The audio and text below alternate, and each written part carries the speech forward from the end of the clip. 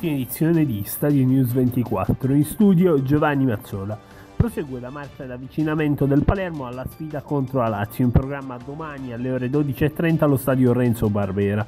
I rosanero hanno svolto, dopo i consueti esercizi di riscaldamento, un lavoro tecnico-tattico in campo. La seduta si è conclusa con una partita in porzione ridotta del campo. Tiago Cionec e Giancarlo Gonzalez hanno lavorato regolarmente col gruppo.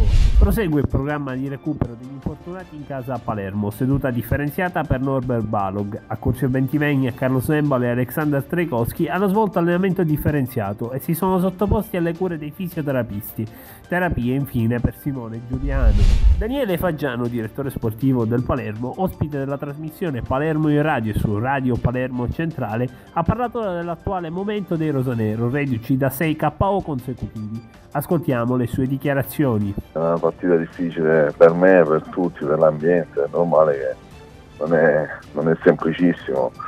Dopo sei partite, 18 punti persi, per cui dobbiamo cercare di portare a casa più punti possibile. Noi certo non siamo, non siamo abbattuti già, già prima di andare a giocare, non eravamo abbattuti neanche prima, però i punti sono stati zero. Possibile svolta sulla cessione societaria del Palermo. Tra l'8 e il 10 dicembre la cordata asiatica dovrebbe presentare un'offerta di acquisto al presidente Zamparini. All'incontro prenderanno parte anche i mediatori kazaki che finora hanno fatto solo da mediatori con Pechino ed il sindaco di Palermo Leoluca Orlando.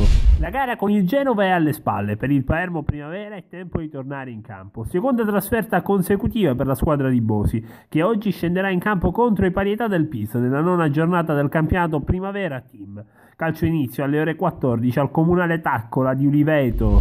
L'Italia torna a Palermo. Sarà allo stadio Renzo Barbera ad ospitare il prossimo 24 marzo. Calcio inizio alle ore 20 e 45 Italia-Albania. Quinto impegno per la nazionale di Giampiero Ventura nelle qualificazioni europee alla Coppa del Mondo FIFA di Russia 2018. Per tutte le altre notizie, stadionews.it.